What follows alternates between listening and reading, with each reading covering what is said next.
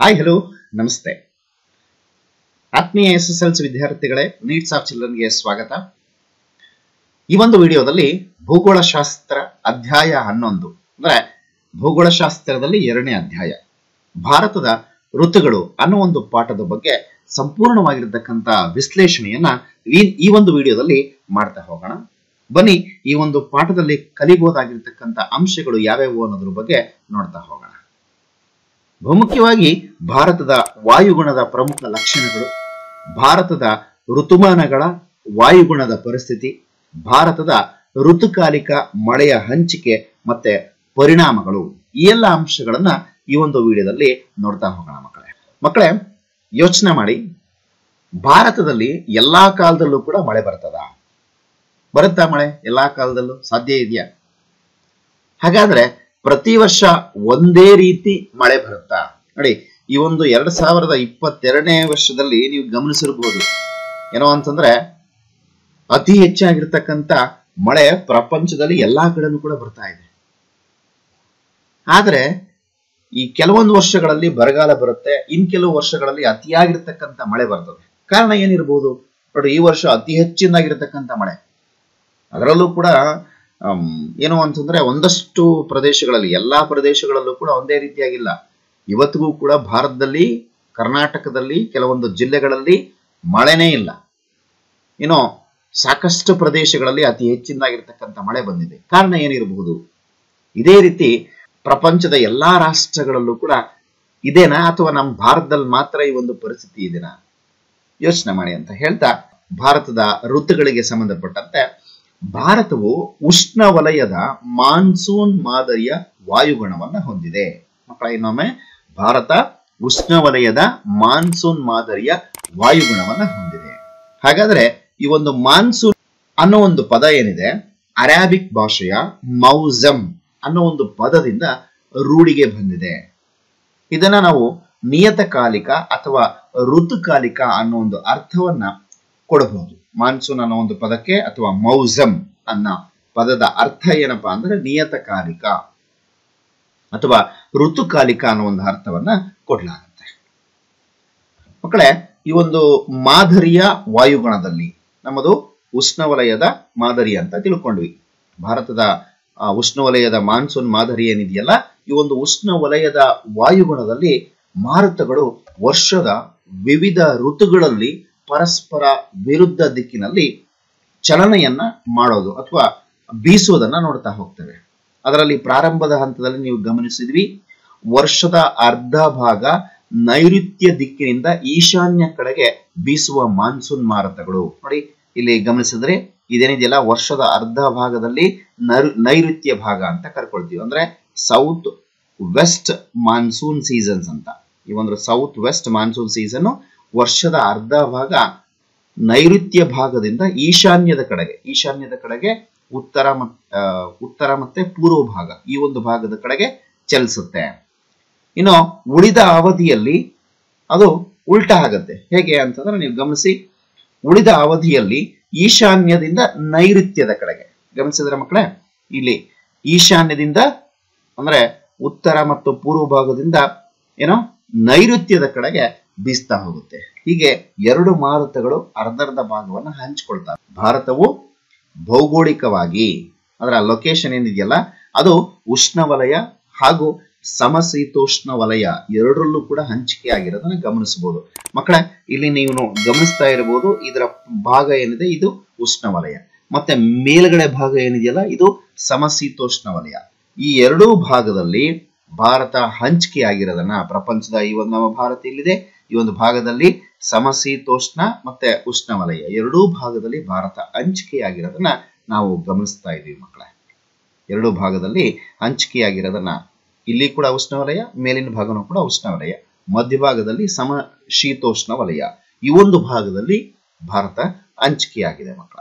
ಹಾಗಾದ್ರೆ ಭಾರತದ ವಾಯುಗುಣದ ಮೇಲೆ ಹೆಚ್ಚು ಪ್ರಭಾವ ಬೀರತಕ್ಕಂಥ ಅಂಶಗಳು ಯಾವುವು ಅನ್ನೋದ್ರ ಬಗ್ಗೆ ನೋಡ್ತಾ ಹೋಗೋಣ. ಭಾರತದ ವಾಯುಗುಣದ ಮೇಲೆ ಅತಿ ಹೆಚ್ಚು ಪ್ರಭಾವ ಬೀರತಕ್ಕಂಥ ಅಂಶಗಳು ಯಾವ್ಯಾವು ಅಂತ ನೋಡಿದಾಗ ಅಕ್ಷಾಂಶ, ಸಮುದ್ರ ಮಟ್ಟದಿಂದ ಇರುವ ಎತ್ತರ, ಸಾಗರಗಳಿಂದ ಇರುವ ದೂರ, ಮಾರುತಗಳ ದಿಕ್ಕು, ಪರ್ವತ ಸರಣಿಗಳು, ಹಬ್ಬಿರುವ ರೀತಿ, ಪರ್ವತ ಸರಣಿಗಳು ಹಬ್ಬಿರತಕ್ಕಂಥ ಒಂದು ರೀತಿ, ಸಾಗರ ಪ್ರವಾಹಗಳು, ಇವುಗಳ ಬಗ್ಗೆ ಒಂದೊಂದಾಗಿ ನಾವು ಅರ್ಥ ಮಾಡ್ಕೊಳ್ತಾ ಹೋಗೋಣ. ಮೊದಲೇದಾಗಿ ಅಕ್ಷಾಂಶ ಮತ್ತು ರೇಖಾಂಶಗಳು.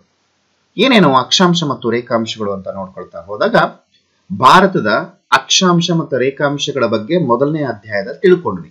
ಹಾಗೇನೆ ಭಾರತ ಆರು ಡಿಗ್ರಿಯಿಂದ ಇಪ್ಪತ್ತ್ ಮೂರುವರೆ ಡಿಗ್ರಿ ಉಷ್ಣ ವಲಯದಲ್ಲಿದೆ. ನೋಡಿ ಮಕ್ಕಳೇ, ಇಲ್ಲಿ ಗಮನಿಸಬಹುದು ನೀವು.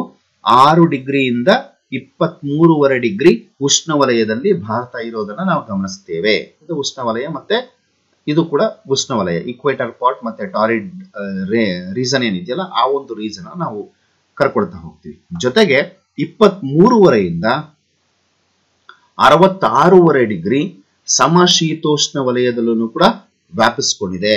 ಈ ಒಂದು ಭಾಗವನ್ನ ನಾವು ಟೆಂಪರೇಟ್ ಝೋನ್ ಅಂತ ಕರ್ಕೊಳ್ತೀವಿ. ಈ ಒಂದು ಪಾರ್ಟು ಟೆಂಪರೇಟ್ ಝೋನ್ ಈ ಒಂದು ಭಾಗದಲ್ಲೂ ಕೂಡ ನಮ್ಮ ಭಾರತ ವಿಸ್ತರಿಸಿರೋದು. ಮಕ್ಕಳ, ಇಲ್ಲಿ ನಮ್ಮ ಭಾರತ ಇಲ್ಲಿದೆ ಈ ಒಂದು ಭಾಗದಲ್ಲಿ ಸಮಶೀತೋಷ್ಣ ವಲಯ. ಈ ಒಂದು ಭಾಗದಲ್ಲೂ ಕೂಡ ಭಾರತ ವಿಸ್ತರಣೆ ಆಗಿರೋದನ್ನು ನಾವು ಗಮನಿಸ್ತೀವಿ. ಇದು ಅಕ್ಷಾಂಶ ಏನಿದೆಯಲ್ಲ, ಆ ಒಂದು ಅಕ್ಷಾಂಶಕ್ಕೆ ಆರು ಡಿಗ್ರಿಯಿಂದ ಇಪ್ಪತ್ತ್ ಮೂರುವರೆ ಡಿಗ್ರಿ ಉಷ್ಣವಲಯದಲ್ಲಿದೆ. ಇನ್ನು ಉಳ್ಕೊಂಡಿರ್ತಕ್ಕಂಥ ಇಪ್ಪತ್ತ್ ಮೂರುವರೆ ಡಿಗ್ರಿಯಿಂದ ಅರವತ್ತಾರೂವರೆ ಡಿಗ್ರಿವರೆಗೆ ಸಮಶೀತೋಷ್ಣ ವಲಯದಲ್ಲೂ ಕೂಡ ವ್ಯಾಪಿಸಿಕೊಂಡಿರೋದ್ರಿಂದ ಭಾರತದ ವಾಯುಗುಣದ ಮೇಲೆ ಹೆಚ್ಚಿನದಾಗಿರ್ತಕ್ಕಂಥ ಒಂದು ಪ್ರಭಾವವನ್ನು ಬೀರುತ್ತೆ ಮಕ್ಕಳೇ. ಇನ್ನು ಎರಡನೇದಾಗಿ ಸಮುದ್ರ ಮಟ್ಟದಿಂದ ಇರುವ ಎತ್ತರ. ನೋಡಿ, ಸಮುದ್ರ ಮಟ್ಟದಿಂದ ಎತ್ತರಕ್ಕೆ ಹೋದಂತೆ ಉಷ್ಣಾಂಶ ಏನಾಗುತ್ತೆ? ಕಡಿಮೆ ಆಗ್ತಾ ಹೋಗುತ್ತೆ. ಸಮುದ್ರ ಮಟ್ಟದಿಂದ ಎತ್ತರಕ್ಕೆ ಹೋದಂತೆ ಉಷ್ಣಾಂಶ ಕಡಿಮೆ ಆಗ್ತಾ ಹೋಗುತ್ತೆ. ಹಾಗಾಗಿ ಹಿಮಾಲಯ ಹಾಗೂ ಎತ್ತರದ ಗಿರಿಧಾಮಗಳು ಅತಿ ಹೆಚ್ಚಿನದಾಗಿರ್ತಕ್ಕಂಥ ತಂಪಾದ ವಾತಾವರಣವನ್ನ ಮತ್ತೆ ಕರಾವಳಿ ಪ್ರದೇಶಗಳೇನಿದಾವೆ, ಅವನು ಕೂಡ ಹೆಚ್ಚು ಉಷ್ಣಾಂಶದಿಂದ ಕೂಡಿರುತ್ತೆ. ಸಮುದ್ರ ಮಟ್ಟದಿಂದ ನೂರ ಅರವತ್ತೈದು ಮೀಟರ್ ಎತ್ತರಕ್ಕೆ ಹೋದಂತೆ ಒಂದು ಡಿಗ್ರಿ ಸೆಲ್ಸಿಯಸ್ ಉಷ್ಣತೆ ಕಡಿಮೆ ಆಗುತ್ತೆ ಮಕ್ಕಳೇ. ಹಾಗಾಗಿನೇ ಸಾಕಷ್ಟು ಬೇಸಿಗೆ ಸಮಯದಲ್ಲಿ ಜನಗಳು ಗಿರಿಧಾಮಗಳಿಗೆ ಗಿರಿಧಾಮಗಳಿಗೆ ಯಾಕೆ ವಿಸಿಟ್ ಮಾಡ್ತಾರೆ ಅಂತಂದ್ರೆ ಗಿರಿಧಾಮಗಳಲ್ಲಿ ಉಷ್ಣಾಂಶ ತುಂಬಾ ಕಡಿಮೆ ಇರುತ್ತೆ. ಹಾಗಾಗಿ ಆ ಬೇಸಿಗೆ ಕಾಲದಲ್ಲಿ ಉಷ್ಣಾಂಶಗಳ ಕಡಿಮೆ ಇರತಕ್ಕಂಥ ಸಮುದ್ರ ಮಟ್ಟದಿಂದ ಎತ್ತರಕ್ಕೆ ಇರತಕ್ಕಂಥ ಪ್ರದೇಶಗಳಿಗೆ ವಿಸಿಟ್ ಅನ್ನ ಟೂರಿಸ್ಟ್ ಸ್ಪಾಟ್ಗಳನ್ನ ಆಯ್ಕೆ ಮಾಡ್ಕೊಳ್ತಾರೆ ಮಕ್ಕಳೇ. ಇನ್ನು ಮತ್ತೊಂದು ಅಂಶ ನೋಡಿದಾಗ ಸಾಗರಗಳಿಂದ ಇರುವ ದೂರ. ನೋಡಿ, ಸಾಗರ ಮತ್ತು ಸಮುದ್ರ ಭಾಗಕ್ಕೆ ಹೊಂದಿಕೊಂಡಿರುವ ಕರಾವಳಿ ಭಾಗಗಳಲ್ಲಿ ಆರ್ದ್ರತೆ ಪ್ರಮಾಣ ಹೆಚ್ಚಾಗಿದ್ದು, ಸಮುದ್ರ ಭಾಗದಿಂದ ದೂರ ಸಾಗಿದಂತೆ ಒಣ ಅಥವಾ ತೇವಾಂಶ ರಹಿತ ವಾತಾವರಣ ಕಂಡುಬರುತ್ತೆ. ಇಲ್ಲಿ ಸಮುದ್ರ ಸಾಗರ ಮತ್ತೆ ಸಮುದ್ರ ಭಾಗದಿಂದ ಹೊಂದಿಕೊಂಡಿರ್ತಕ್ಕಂಥ ಕವ, ಕರಾವಳಿ ಭಾಗ. ಈ ಒಂದು ಕರಾವಳಿ ಭಾಗ ಏನಿದೆ? ಈ ಒಂದು ಕರಾವಳಿ ಭಾಗದಲ್ಲಿ ಆರ್ದ್ರತೆ ಅಂತ ಕರಿತೀವಿ. ಏನಪ್ಪಾ ಆರ್ದ್ರತೆ ಅಂತಂದ್ರೆ? ಗಾಳಿನಲ್ಲಿ ಇರ್ತಕ್ಕಂಥ ತೇವಾಂಶದ ಪ್ರಮಾಣವನ್ನು ನಾವು ಆರ್ದ್ರತೆ ಅಂತ ಕರಿತೀವಿ. ಹಾಗೆ ಸಮುದ್ರ ಮಟ್ಟದಿಂದ ದೂರಕ್ಕೆ ಹೋದಂತೆ ಅಲ್ಲಿ ಒಣ ಅಥವಾ ತೇವಾಂಶ ರಹಿತ ಆ ಒಂದು ಆರ್ದ್ರತೆಯ ಪ್ರಮಾಣ ತುಂಬಾ ಕಡಿಮೆ ಇರುತ್ತೆ. ಇಲ್ಲಿ ಸಮುದ್ರ ಮಟ್ಟದಿಂದ ದೂರದಲ್ಲಿರ್ತಕ್ಕಂಥ ಪ್ರದೇಶಗಳಲ್ಲಿ. ಅದೇ ಸಮುದ್ರದಿಂದ ದೂರ ಇರತಕ್ಕಂಥ ಪ್ರದೇಶಗಳಲ್ಲಿ ಚಳಿಗಾಲದಲ್ಲಿ ಬಹಳ ಚಳಿ ಆಗುತ್ತೆ. ಹಾಗೆ ಬೇಸಿಗೆ ಕಾಲದಲ್ಲಿ ಸಾಕಷ್ಟು ಉಷ್ಣಾಂಶವನ್ನ ಗಮನಿಸಬಹುದು ಮಕ್ಕಳ ನೋಡಿ ಈ ಒಂದು ಸಮುದ್ರ ಭಾಗವನ್ನ ಹೊರತುಪಡಿಸಿದರೆ ದೆಹಲಿ ಏನಿದೆಯಲ್ಲ, ಸಮುದ್ರ ಮಟ್ಟದಿಂದ ಬಹಳಷ್ಟು ದೂರದಲ್ಲಿದೆ. ಹಾಗಾಗಿ ಚಳಿಗಾಲದಲ್ಲಿ ಚಳಿ ಜಾಸ್ತಿ, ಬೇಸಿಗೆಗಾಲದಲ್ಲಿ ಬಿಸಿಲು ಜಾಸ್ತಿ. ಚಳಿಗಾಲದಲ್ಲಿ ಕನಿಷ್ಠ ಐದು ಡಿಗ್ರಿ ಸೆಲ್ಸಿಯಸ್ನಷ್ಟು ಟೆಂಪರೇಚರ್ ಇರುತ್ತೆ. ಅಲ್ಲಿವರೆಗೂ ಕನಿಷ್ಠ ಐದು ಡಿಗ್ರಿ ಸೆಲ್ಸಿಯಸ್ ಟೆಂಪರೇಚರ್ ದಾಖಲಾಗುತ್ತೆ. ಇನ್ನು ಬೇಸಿಗೆ ಕಾಲದಲ್ಲಿ ಗರಿಷ್ಠ ಉಷ್ಣಾಂಶ ಅದು ನಲವತ್ತೈದು ಡಿಗ್ರಿ ಸೆಲ್ಸಿಯಸ್. ಹಾಗಾಗಿ ಇದನ್ನು ಕೂಡ ಸಾಗರಗಳಿಂದ ಇರುವ ದೂರನ್ನು ಕೂಡ ಭಾರತದ ವಾಯುಗುಣದ ಮೇಲೆ ಪ್ರಭಾವವನ್ನು ಬೀರುತ್ತೆ. ಮುಂದಿನ ಅಂಶಕ್ಕೆ ಹೋಗೋಣ. ಮಾರುತಗಳ ದಿಕ್ಕು. ಎರಡು ಮಾರುತಗಳ ದಿಕ್ಕುಗಳನ್ನ ನಾವು ಗಮನಿಸಿದೆ. ಅದರಲ್ಲಿ ನೈಋತ್ಯ ಮಾನ್ಸೂನ್ ಮಾರುತಗಳು ಉಷ್ಣ ಮಾರುತಗಳಾಗಿದ್ದು ತೇವಾಂಶ ಭರಿತವಾಗಿದ್ದಾವೆ. ಇವುಗಳನ್ನ ಈ ರೆಡ್ ಕಲರ್ ಏನಿದೆಯಲ್ಲ, ಇದನ್ನ ನೈಋತ್ಯ ಮಾನ್ಸೂನ್ ಮಾರುತಗಳು, ಇವರು ಅರಬ್ಬಿ, ಇವುಗಳು ಅರಬ್ಬಿ ಸಮುದ್ರದಿಂದ ಬೀಸ್ತಾ ಇರ್ತವೆ. ಇವು ತೇವಾಂಶ ಭರಿತ, ಭಾರತಕ್ಕೆ ಹೆಚ್ಚು ಮಳೆಯನ್ನ ತರ್ತಕ್ಕಂಥ ಮಾರುತಗಳು ನೈಋತ್ಯ ಮಾನ್ಸೂನ್ ಮಾರುತಗಳು ಅಂತೇಳಿ ಕರಿತೇವೆ. ಇನ್ನು ಈಶಾನ್ಯ ಮಾರುತಗಳೇನಿದಾವಲ್ಲ, ಇವು ಶೀತ ಮಾರುತಗಳಾಗಿದ್ದು ಕಡಿಮೆ ಮಳೆ ಹಾಗೂ ಭಾರತದಲ್ಲಿ ಚಳಿಗಾಳಿಗೆ ಬಹಳಷ್ಟು ಕಾರಣ ಆಗುತ್ತೆ. ಈಶಾನ್ಯ ಮಾರುತಗಳು ಈ ಒಂದು ಉತ್ತರ ಭಾರತದಿಂದ ಬೀಸ್ತವೆ. ಇಲ್ಲಿ ನೀಲಿ ಬಣ್ಣದಲ್ಲಿ ಏನಿದ್ದಾವೆ ಇವುಗಳನ್ನ ಈಶಾನ್ಯ ಮಾರುತಗಳು, ಇವು ಶೀತ ಗಾಳಿಯನ್ನ ಹೊತ್ತು ತರುತ್ತೆ, ಶೀತ ಮಾರುತಗಳಾಗಿದ್ದಾವೆ.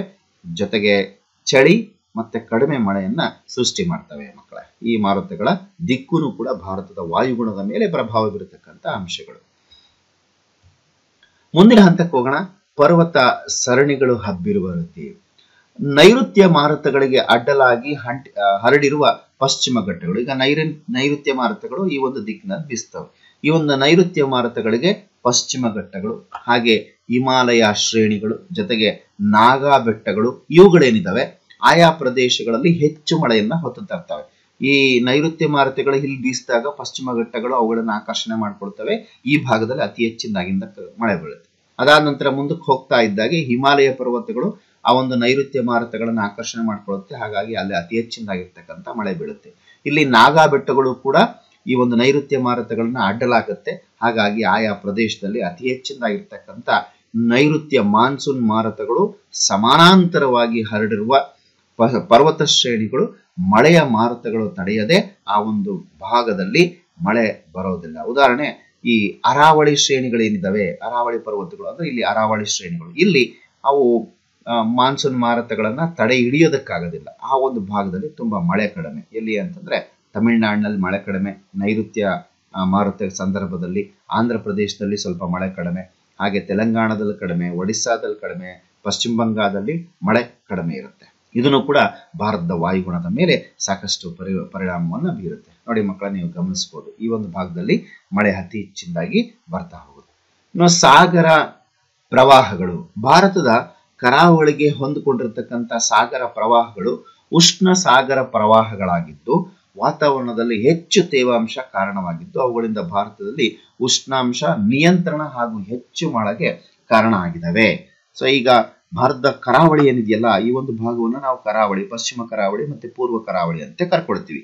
ಈ ಒಂದು ಕರಾವಳಿಗಳು ಉಷ್ಣ ಸಾಗರ ಪ್ರವಾಹಗಳಾಗಿದ್ದು, ವಾತಾವರಣದಲ್ಲಿ ಹೆಚ್ಚು ತೇವಾಂಶಕ್ಕೆ ಕಾರಣ, ಜೊತೆಗೆ ಉಷ್ಣಾಂಶದ ನಿಯಂತ್ರಣ ಮತ್ತು ಹೆಚ್ಚು ಮಳೆಗೆ ಈ ಒಂದು ಭಾರತದ ಕರಾವಳಿಗಳು ಕೂಡ ಸಾಗರ ಪ್ರವಾಹಗಳು ಕೂಡ ಕಾರಣ ಆಗಿದ್ದಾವೆ ಇದು ಒಂದು ಅಂಶ ಭಾರತದ ವಾಯುಗುಣದ ಮೇಲೆ ಪ್ರಭಾವವನ್ನು ಬೀರ್ತಾ ಇದೆ.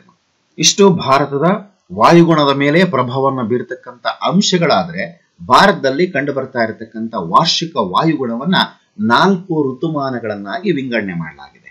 ಯಾವಪ್ಪ ಆ ನಾಲ್ಕು ಋತುಮಾನಗಳು ಅಂತ ನೋಡ್ಕೊಳ್ತಾ ಹೋದಾಗ ಬೇಸಿಗೆ ಕಾಲ, ನೈಋತ್ಯ ಮಾನ್ಸೂನ್ ಕಾಲ ಅಥವಾ ಮುಂಗಾರು ಮಳೆಗಾಲ ಅಂತ ಹೇಳಿ ಕರ್ಕೊಳ್ತೀವಿ. ಮಾನ್ಸೂನ್ ಮಾರುತಗಳ ನಿರ್ಗಮನ ಕಾಲ ಅಥವಾ ಹಿಂಗಾರು ಮಳೆಗಾಲ, ಹಾಗೆ ಚಳಿಗಾಲ ಇವುಗಳನ್ನ ಹಂತ ಹಂತವಾಗಿ ಬೇಸಿಗೆ ಕಾಲ ಮಾರ್ಚ್ನಿಂದ ಮೇವರೆಗೆ ನೈಋತ್ಯ ಮಾನ್ಸೂನ್ ಕಾಲ ಜೂನ್ನಿಂದ ಸೆಪ್ಟೆಂಬರ್ ವರೆಗೆ ಮಾನ್ಸೂನ್ ಮಾರುತಗಳ ನಿರ್ಗಮನ ಕಾಲ ಅಕ್ಟೋಬರ್ ಮತ್ತೆ ನವೆಂಬರ್ ವರೆಗೆ ಚಳಿಗಾಲ ಡಿಸೆಂಬರ್ ಇಂದ ಫೆಬ್ರವರಿಗೆ, ಫೆಬ್ರವರಿವರೆಗೆ ಅಂತೇಳಿ ಕರ್ಕೊಳ್ತೇವೆ. ಒಂದೊಂದಾಗಿ ತಿಳ್ಕೊಳ್ತಾ ಹೋಗೋಣ. ಮೊದಲನೇದಾಗಿ ಬೇಸಿಗೆ ಕಾಲ. ಮಾರ್ಚ್ನಿಂದ ಮೇವರೆಗೆ. ಭಾರತದಲ್ಲಿ ಬೇಸಿಗೆಯ ಕಾಲ ಮಾರ್ಚ್ನಿಂದ ಪ್ರಾರಂಭ ಆಗುತ್ತೆ. ಮೊದಲ ವಾರದ ಪ್ರಾರಂಭ, ಮೊದಲ ವಾರದಲ್ಲಿ, ಮಾರ್ಚ್ನ ಮೊದಲ ವಾರದಲ್ಲಿ ಪ್ರಾರಂಭವಾಗಿ ಮೇ ತಿಂಗಳ ಕೊನೆಯವರೆಗೂ ಮುಂದುವರಿಯುತ್ತೆ. ಮೇ ತಿಂಗಳ ಕೊನೆಯವರೆಗೂ ಮುಂದುವರಿಯುತ್ತೆ. ಹಾಗಾಗಿನೇ ಈ ಒಂದು ಏಪ್ರಿಲ್ ಮತ್ತೆ ಮೇನಲ್ಲಿ ಸಾಕಷ್ಟು ಬಿಸಿಲಿರುತ್ತೆ. ಹಾಗಾಗಿ ಮಕ್ಕಳೇ, ನಿಮಗೆ ಯಾಕೆ ಏಪ್ರಿಲ್ ಮತ್ತೆ ಮೇ ತಿಂಗಳಲ್ಲಿ ರಜೆ ಕೊಡ್ತಾರೆ ಅಂತಂದ್ರೆ, ಬೇಸಿಗೆ ಬಹಳಷ್ಟು ಬಿಸಿಲಿರೋದ್ರಿಂದ ನಿಮ್ಮ ಆರೋಗ್ಯದ ದೃಷ್ಟಿಯಿಂದ ರಜವನ್ನು ಕೊಡತಕ್ಕಂಥದ್ದು ಪ್ರತಿ ವರ್ಷ ಬೇಸಿಗೆ ರಜಾ ಅಂತೇಳಿ ಈ ಒಂದು ಬೇಸಿಗೆ ಕಾಲದಲ್ಲಿ ಸೂರ್ಯನ ಲಂಬ ಕಿರಣಗಳು. ಗಮನಿಸಿದಿ ಇಲ್ಲಿ? ಸೂರ್ಯನ ಲಂಬ ಕಿರಣ. ಇಲ್ಲಿ ಇದೆಯಲ್ಲ? Red colour mark. ಸೂರ್ಯನ ಲಂಬ ಕಿರಣ ಉತ್ತರಾರ್ಧ ಗೋಳದ ಮೇಲೆ ಬೀಳೋದ್ರಿಂದ ಭಾರತ ಉತ್ತರಾರ್ಧ ಗೋಳದಲ್ಲಿದೆ. ಇಲ್ಲಿ ಗಮನಿಸಬಹುದು ನೀವು. ಭಾರತ ಉತ್ತರಾರ್ಧ ಗೋಳದಲ್ಲಿ ಇರೋದ್ರಿಂದ ನಮ್ಮ ಭಾರತದಲ್ಲಿ ಮಾರ್ಚ್ನಿಂದ ಮೇವರೆಗೆ ಅಧಿಕ ಉಷ್ಣಾಂಶ. ಯಾಕಪ್ಪ? ಮಾರ್ಚ್ನಿಂದ ಮೇವರೆಗೆ ಅತಿ ಹೆಚ್ಚಿನದಾಗಿರ್ತಕ್ಕಂಥ ಉಷ್ಣಾಂಶವನ್ನ ನಾವು ಕಾಣ್ತೇವೆ ಬೇಸಿಗೆ ಕಾಲದಲ್ಲಿ ಅಂತಂದ್ರೆ ಈ ಒಂದು ಉತ್ತರಾರ್ಧಗೋಳದಲ್ಲಿ ಸೂರ್ಯನ ಕಿರಣಗಳು ಲಂಬವಾಗಿ ಮಾರ್ಚ್ನಿಂದ ಮೇವರೆಗೂ ಬೀಳ್ತವೆ. ಹಾಗಾಗಿ ಉಷ್ಣಾಂಶ ಜಾಸ್ತಿ. ಇನ್ನು ದೀರ್ಘ ಹಗಲು ಮತ್ತು ಸಮುದ್ರಕ್ಕೆ ದೂರವಾಗಿರುವ ಉತ್ತರ ಭಾರತವು ಹೆಚ್ಚು ಉಷ್ಣಾಂಶದಿಂದ ಕೂಡಿರುತ್ತೆ. ಉತ್ತರ ಭಾರತ ಏನಿದೆ? ಇದು ಸಮುದ್ರದಿಂದ ದೂರ ಇದೆ. ಸಮುದ್ರದಿಂದ ದೂರ ಇರೋದ್ರಿಂದ ಈ ಒಂದು ಭಾಗದಲ್ಲಿ ದೀರ್ಘ ಹಗಲು, ರಾತ್ರಿ ಕಡಿಮೆ. ಅಂದ್ರೆ ಬಹಳ ಬೇಗ ಉದಯಿಸ್ತಾನೆ ಸೂರ್ಯ. ಹಾಗೆ ಲೇಟ್ ಆಗಿ ಅಸ್ತಂಗತ ಆಗ್ತಾನೆ. ಹಾಗೆ ಸಮುದ್ರ ಮಟ್ಟದಿಂದ ಸಮ, ದೂರ ಇರೋದ್ರಿಂದ, ಸಮುದ್ರದಿಂದ ದೂರ ಇರೋದ್ರಿಂದ ಉಷ್ಣಾಂಶನೂ ಕೂಡ ಉತ್ತರ ಭಾರತದಲ್ಲಿ ಜಾಸ್ತಿ ಇರುತ್ತೆ ಮಕ್ಕಳೇ. ಅದರಲ್ಲಿ ರಾಜಸ್ಥಾನದ ಗಂಗಾನಗರ ಏನಿದೆ, ಇದು ಐವತ್ತೆರಡು ಡಿಗ್ರಿ ಸೆಲ್ಸಿಯಸ್ನಷ್ಟು ಉಷ್ಣಾಂಶವನ್ನು ದಾಖಲಿಸಿದ್ದು, ದೇಶದಲ್ಲಿಯೇ ಅತಿ ಹೆಚ್ಚು ಉಷ್ಣಾಂಶವನ್ನ ದಾಖಲಿಸಿರ್ತಕ್ಕಂಥ ಪ್ರದೇಶ ಅಂತೇಳಿ ಗಂಗಾನಗರವನ್ನ ಗುರುತಿಸ್ಕೊಂಡಿದ್ದೀವಿ. ದಕ್ಷಿಣ ಭಾರತದ ಮೂರು ಕಡೆಗಳಲ್ಲಿ ಸಾಗರಗಳಿಂದ ಆವೃತವಾಗಿದ್ದು, ಉಷ್ಣಾಂಶ ತುಂಬಾ ಕಡಿಮೆ ಇರುತ್ತೆ. ಈ ಒಂದು ದಕ್ಷಿಣ ಭಾಗ ಏನಿದೆ? ಮೂರು ಕಡೆ. ಪಶ್ಚಿಮದಲ್ಲಿ ಅರಬ್ಬಿ ಸಮುದ್ರ, ದಕ್ಷಿಣದಲ್ಲಿ ಇಂಡಿಯನ್ ಓಷನ್, ಭಾರತದ ಹಿಂದೂ ಮಹಾಸಾಗರ, ಹಾಗೆ ಪೂರ್ವದಲ್ಲಿ ಬ್ಯಾಫ್, ಬೆಂಗಾಲ್ ಬಂಗಾಳ ಕೊಲ್ಲಿ ಈ ಒಂದು ಮೂರು ಭಾಗಗಳಿಂದ ಆವರಿಸಿಕೊಂಡಿರೋದ್ರಿಂದ ಉಷ್ಣಾಂಶ ತುಂಬಾ ಕಡಿಮೆ ಇರುತ್ತೆ. ಅದು ಮೂವತ್ತೆರಡರಿಂದ ಮೂವತ್ತೈದು ಡಿಗ್ರಿ ಸೆಲ್ಸಿಯಸ್ನಷ್ಟು ಕಂಡುಬರುತ್ತೆ. ಈ ಒಂದು ಅವಧಿಯಲ್ಲಿ ಉತ್ತರ ಭಾರತದ ಪರ್ವತ ಪ್ರದೇಶ ಮತ್ತು ಪರ್ಯಾಯ ಪ್ರಸ್ಥಭೂಮಿಗಳಲ್ಲಿ ಸಾಕಷ್ಟು ತಂಪು ಜಾಸ್ತಿ ಇರುತ್ತೆ. ಪರ್ಯಾಯ ಪ್ರಸ್ಥಭೂಮಿ ಮತ್ತೆ ಉತ್ತರ ಭಾರತ ಪ್ರದೇಶಗಳಲ್ಲಿ ಈ ಒಂದು ಭಾಗಗಳಲ್ಲಿ ಸಾಕಷ್ಟು ತಂಪನ್ನ ಇರೋದು ಗಮನಿಸಬಹುದು ಇನ್ನು ಅಲ್ಲಲ್ಲಿ ಸ್ಥಳೀಯ ಉಷ್ಣಾಂಶ ಮತ್ತು ಪ್ರಚಲನ ಪ್ರವಾಹಗಳಿಂದ ಎಲ್ಲೆಲ್ಲಿ ನೀರು ತುಂಬಿಕೊಂಡಿರುತ್ತೆ, ಆ ಒಂದು ಭಾಗಗಳಲ್ಲಿ ಏಪ್ರಿಲ್ ಮತ್ತೆ ಮೇ ತಿಂಗಳಲ್ಲಿ ಮಳೆ ಬರುತ್ತೆ. ಈ ಒಂದು ಮಳೆಯನ್ನ ಬೇರೆ ಬೇರೆ ರಾಜ್ಯಗಳಲ್ಲಿ ಬೇರೆ ಬೇರೆ ಹೆಸರುಗಳಿಂದ ಕರಿತಾ ಹೋಗ್ತಾರೆ. ಪಶ್ಚಿಮ ಬಂಗಾಳದಲ್ಲಿ ಅದನ್ನ ಕಾಲ ಬೈಸಾಖಿ ಅಂತೇಳಿ ಕರಿತೇವೆ. ಹಾಗೆ ಉತ್ತರ ಪ್ರದೇಶದಲ್ಲಿ ಅದನ್ನ ಆಂಡೀಸ್ ಅಂತ ಕರ್ಕೊಳ್ತೇವೆ. ಕರ್ನಾಟಕದಲ್ಲಿ ಕಾಫಿ ತುಂತರು ಅಂತೇಳಿ ಕರ್ಕೊಳ್ತೇವೆ. ಕೇರಳದಲ್ಲಿ ಇದನ್ನ ಮಾವಿನ ಹೊಯ್ಲು ಅಂತೇಳಿ ಕರಿತಾ ಹೋಗ್ತೇವೆ. ಕರ್ನಾಟಕದಲ್ಲಿ ಅಂದ್ರೆ ಬೇಸಿಗೆ ಕಾಲದಲ್ಲಿ ಬರ್ತಾ ಇರ್ತಕ್ಕಂಥ ಈ ಒಂದು ಮಳೆ ಏನಿದೆಯಲ್ಲ, ಬರೋ ಮಳೆ ಸಾಕಷ್ಟು ರೀತಿಯಲ್ಲಿ ಸಹಾಯವನ್ನ ಮಾಡುತ್ತೆ. ಈ ಒಂದು ಕರ್ನಾಟಕದಲ್ಲಿ ನೋಡ್ಕೊಂಡಾಗ ಕಾಫಿ ತುಂತರು ಅಂದ್ರೆ ಬೇಸಿಗೆ ಕಾಲದಲ್ಲಿ ಬರ್ತಾ ಇರ್ತಕ್ಕಂಥ ಈ ಒಂದು ಮಳೆ ಕಾಫಿ ಬೆಳೆಗೆ ಸಾಕಷ್ಟು ಉಪಕಾರಿಯಾಗಿದೆ. ಹಾಗೇನೆ ಕೇರಳದಲ್ಲಿ ಮಾವಿನ ಹೊಯ್ಲು, ಮಾವು ಹೆಚ್ಚಿಂದಾಗಿರ್ತಕ್ಕಂಥ ಹೂ ಬಿಡ್ಲಿಕ್ಕೆ ಬೇಸಿಗೆ ಕಾಲದಲ್ಲಿ ಬರ್ತಾ ಇರತಕ್ಕಂಥ ಮಳೆನೂ ಕೂಡ ಸಹಕಾರವನ್ನ ನೀಡುತ್ತೆ ಮಕ್ಕಳೇ. ಹಾಗಾಗಿ ಬೇರೆ ಬೇರೆ ರಾಜ್ಯಗಳಲ್ಲಿ ಇದನ್ನ ಬೇರೆ ಬೇರೆ ಹೆಸರುಗಳಿಂದ ಕರೀತಾರೆ. ಉಪಯೋಗನೂ ಕೂಡ ಇದೆ ಈ ಒಂದು ಬೇಸಿಗೆ ಕಾಲದಲ್ಲಿ ಬರ್ತಾ ಇರತಕ್ಕಂಥ ಮಳೆಯಿಂದ. ಒಟ್ಟಾರೆಯಾಗಿ ಬೇಸಿಗೆ ಕಾಲದಲ್ಲಿ ವಾರ್ಷಿಕವಾಗಿ ಹತ್ತರಷ್ಟು ಮಳೆಯನ್ನ ಭಾರತ ಪಡ್ಕೊಳ್ಳುತ್ತೆ ಈ ಒಂದು ಬೇಸಿಗೆ ಕಾಲದ ಅವಧಿಯಲ್ಲಿ. ಶೇಕಡ ಹತ್ತರಷ್ಟು. ಮುಂದಿನ ಹಂತಕ್ಕೆ ಹೋಗೋಣ. ನೈಋತ್ಯ ಮಾನ್ಸೂನ್ ಕಾಲ ಅಥವಾ ಮುಂಗಾರು ಮಳೆಗಾಲ ಅಂತೇಳಿ ಕರ್ಕೊಳ್ತೀವಿ. ಜೂನ್ನಿಂದ ಸೆಪ್ಟೆಂಬರ್ ವರೆಗೆ. ಭಾರತದಲ್ಲಿ ನೈಋತ್ಯ ಮಾನ್ಸೂನ್ ಅಂದ್ರೆ ಮಳೆಗಾಲ ಅಂತಾನೆ ಅರ್ಥ. ಇವುಗಳನ್ನ ಮುಂಗಾರು ಮಳೆಗಾಲದ ಮಾರುತಗಳು ಕೂಡ ಕರಿತಾ ಹೋಗ್ತವೆ ಮಕ್ಕಳೇ. ಇವು ಜಲಾಂಶ ಪೂರಿತ ಮಾರುತಗಳಾಗಿದ್ದು ಭಾರತದಲ್ಲಿ ಹೆಚ್ಚು ಭಾಗದಲ್ಲಿ ಮಳೆಯನ್ನ ಸುರಿಸ್ತವೆ. ನೋಡಿ, ನೀವು ಗಮನಿಸ್ತಾ ಇರಬಹುದು ಈ ಒಂದು ನೈಋತ್ಯ ಮಾನ್ಸೂನ್ ಮಾರುತಗಳು, ಇವು ಜೂನ್ನಿಂದ ಸೆಪ್ಟೆಂಬರ್ ವರೆಗೆ ಕಂಡು ಬರ್ತವೆ ಭಾರತದಲ್ಲಿ ಒಟ್ಟು ಶೇಕಡ ಎಪ್ಪತ್ತೈದರಷ್ಟು ಮಳೆ ಈ ಒಂದು ನೈಋತ್ಯ ಮಾನ್ಸೂನ್ ಕಾಲ ಅಥವಾ ಮುಂಗಾರು ಮಳೆಗಾಲದಲ್ಲಿ ಬರುತ್ತೆ. ಎಪ್ಪತ್ತೈದು, ಶೇಕಡ ಎಪ್ಪತ್ತೈದರಷ್ಟು ಮಳೆ ಈ ಒಂದು ಕಾಲದಲ್ಲಿ ಬರುತ್ತೆ. ನೈಋತ್ಯ ಮಾನ್ಸೂನ್ ಮಾರುತಗಳು ಭಾರತವನ್ನ ಎರಡು ಭಾಗಗಳಾಗಿ ಪ್ರವೇಶಿಸ್ತವೆ ಒಂದು ಅರಬ್ಬಿ ಸಮುದ್ರ ಶಾಖೆಯಿಂದ, ಮತ್ತೊಂದು ಬಂಗಾಳ ಕೊಲ್ಲಿ ಶಾಖೆಯಿಂದ, ಎರಡೂ ಶಾಖೆಗಳಿಂದ ಮುಂಗಾರು ಮಳೆಗಾಲ ಪ್ರವೇಶವನ್ನು ಪಡ್ಕೊಳ್ಳುತ್ತೆ. ಅದರಲ್ಲಿ ಈ ಒಂದು ಅರಬ್ಬಿ ಸಮುದ್ರದ ಶಾಖೆಯಿಂದ ಅವು ಪ್ರಾರಂಭದ ಹಂತದಿಂದ ಬರ್ತಾ ಇದ್ದಾಗ ಏನಾಗುತ್ತೆ? ಇಲ್ಲಿ ಪಶ್ಚಿಮ ಘಟ್ಟಗಳಿಂದ, ಇಲ್ಲಿಂದ ಪ್ರಾರಂಭ ಆಗ್ತಾ ಇದ್ದಾಗೆ ಪಶ್ಚಿಮ ಘಟ್ಟಗಳು ಅವುಗಳನ್ನ ತಡೆಯುತ್ತೆ. ಹಾಗಾಗಿ ಪಶ್ಚಿಮ ಘಟ್ಟದಲ್ಲಿ ಸಾಕಷ್ಟು ಮಳೆಯನ್ನ ಸುರಿಸುತ್ತೆ. ಈ ಒಂದು ಪಶ್ಚಿಮ ಘಟ್ಟಗಳು ಅವುಗಳನ್ನ ತಡೆ ನಿಲ್ಲಿಸೋದ್ರಿಂದ ಪಶ್ಚಿಮ ಘಟ್ಟದಲ್ಲಿ ಹೆಚ್ಚಿನದಾಗಿರ್ತಕ್ಕಂಥ ಮಳೆಯನ್ನ ಸುರಿಸುತ್ತೆ. ಇನ್ನು ಈ ಒಂದು ಮಾರುತಗಳು ಪೂರ್ವಕ್ಕೆ ಮುಂದುವರಿತಂತೆ ಈ ಒಂದು ಭಾಗಕ್ಕೆ ಬರ್, ಬರ್ತಾ ಇದ್ದಾಗೆ ಮಳೆ ಕಡಿಮೆ ಆಗುತ್ತೆ. ಪಶ್ಚಿಮ ಘಟ್ಟಗಳು ಪೂರ್ವ ಭಾಗವು ಮಳೆಯ ನೆರಳಿನ ಪ್ರದೇಶ. ಸಂಪೂರ್ಣವಾಗಿ ಈ ಒಂದು ಭಾಗಕ್ಕೆ ಬರ್ತಾ ಇದ್ದಾಗೆ ಇದನ್ನ ಮಳೆಯ ನೆರಳಿನ ಪ್ರದೇಶ ಅಂತ ಕರ್ಕೊಳ್ತೀವಿ. ಮಳೆಯ ನೆರಳಿನ ಪ್ರದೇಶ ಅಂತಂದ್ರೆ ಆ ಒಂದು ಭಾಗದಲ್ಲಿ ಮಳೆ ತುಂಬಾ ಕಡಿಮೆ ತುಂಬಾ ಕಡಿಮೆ. ಮಳೆನೇ ಇರೋದಿಲ್ಲ. ಆ ಒಂದು ಭಾಗವನ್ನ ಮಳೆಯ ನೆರಳಿನ ಪ್ರದೇಶ ಅಂತ ಕರ್ಕೊಳ್ತೀವಿ. ಯಾವ ಭಾಗ ಮಳೆಯನ್ನ ಪಡ್ಕೊಳ್ಳೋದಿಲ್ವೋ ಆ ಒಂದು ಭಾಗವನ್ನ ಮಳೆಯ ನೆರಳಿನ ಪ್ರದೇಶ ಅಂತೇಳಿ ಕಡ, ಕರಿತಾ ಹೋಗ್ತೀವಿ ಮಕ್ಕಳು. ಇನ್ನು ಎರಡನೇದಾಗಿ ಬಂಗಾಳ ಕೊಲ್ಲಿಯ ಶಾಖೆ ಏನಿದೆಯಲ್ಲ ಮಯನ್ಮಾರ್ ಅಥವಾ ಬರ್ಮಾ ಅನ್ನೋದು. ಸೊ ಬಾಂಗ್ಲಾದೇಶ, ಭಾರತ, ಈಶಾನ್ಯ ಭಾಗ, ಹಿಮಾಲಯದ ತಪ್ಪಲು ಮತ್ತೆ ಉತ್ತರದ ಮೈದಾನಗಳ ಕಡೆಗೆ ಮಳೆಯನ್ನ ತರ್ತವೆ. ಅರಬ್ಬಿ ಶಾಖೆ ಅತಿ ಹೆಚ್ಚಿನದಾಗಿ ಈ ಒಂದು ಪಶ್ಚಿಮ ಘಟ್ಟದಲ್ಲಿ ಮಳೆಯನ್ನ ಸುರಿಸಿದ್ರೆ ಬಂಗಾಳ ಕೊಲ್ಲಿ ಏನಿದೆಯಲ್ಲ, ಇದು ಅತಿ ಹೆಚ್ಚಿನದಾಗಿ ಬಾಂಗ್ಲಾದೇಶ ಮ್ಯಾನ್ಮಾರ್ ಭಾರತದ ಈಶಾನ್ಯ ಭಾಗ ಹಿಮಾಲಯದ ತಪ್ಪಲು ಮತ್ತೆ ಉತ್ತರದ ಮೈದಾನಗಳ ಭಾಗ ಈ ಒಂದು ಭಾಗದಲ್ಲಿ ಅತಿ ಹೆಚ್ಚಿನದಾಗಿರ್ತಕ್ಕಂಥ ಮಳೆಯನ್ನ ಆ, ಸುರಿಸೋದನ್ನ ಈ ಒಂದು ಬಂಗಾಳ ಕೊಲ್ಲಿಯಿಂದ ನಾವು ಗಮನಿಸ್ತಾ ಹೋಗ್ತೇವೆ.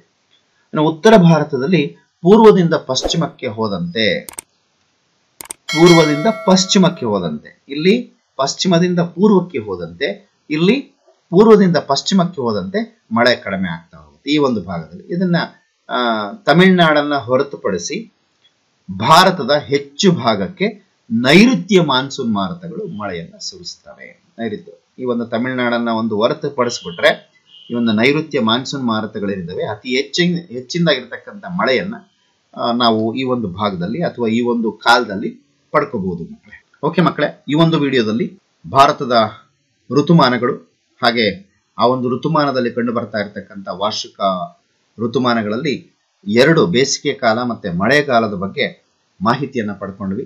ಈ ನುಡಿದಿರ್ತಕ್ಕಂಥ ಮಾಹಿತಿಯನ್ನ ಮುಂದಿನ ವಿಡಿಯೋದಲ್ಲಿ ನೋಡೋಣ ಅಂತ ಹೇಳ್ತಾ, ಮತ್ತೆ ಮುಂದಿನ ವಿಡಿಯೋದಲ್ಲಿ ಸಿಗೋಣ. ಅಲ್ಲಿವರೆಗೂ ಕೀಪ್ ವಾಚಿಂಗ್ ಮೈ ಚಾನಲ್ ಮತ್ತೇನಾದರೂ ಡೌಟ್ಸ್ಗಳಿದ್ರೆ ಅದನ್ನ ಕಮೆಂಟ್ ಬಾಕ್ಸ್ ಅಲ್ಲಿ ಕಮೆಂಟ್ ಮಾಡಿ ಅಂತ ಹೇಳಿ.